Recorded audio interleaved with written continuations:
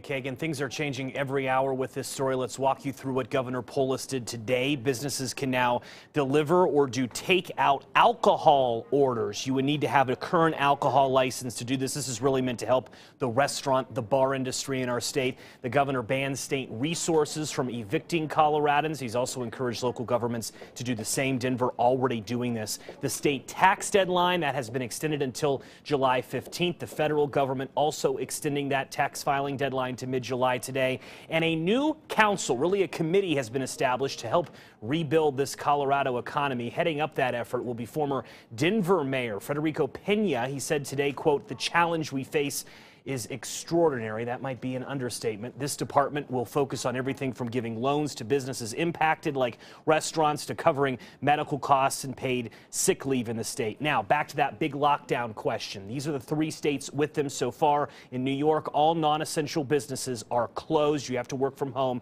You're not allowed out in the state of New York tonight. Illinois, a very similar order. You can go out to get food or gas. Walking or running is still allowed there. California, very similar guidance. Violators can be charged with a misdemeanor. So if something would happen to Colorado, that's a little guidance of what it might look like. It was a question I asked the governor earlier today.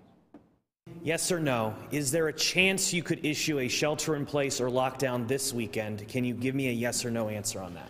Well, we just took these additional steps around uh, making sure that for this weekend, uh, people are not congregating at hair and nail salons, uh, and of course, bars and restaurants. Uh, I'm discouraging people from congregating in any groups larger than 10 anywhere in the state.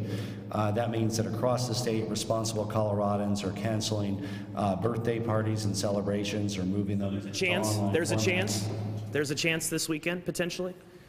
For what? A lockdown or uh, that's you know, how I view things, Joe. Is where else are people congregating, and how do we stop it?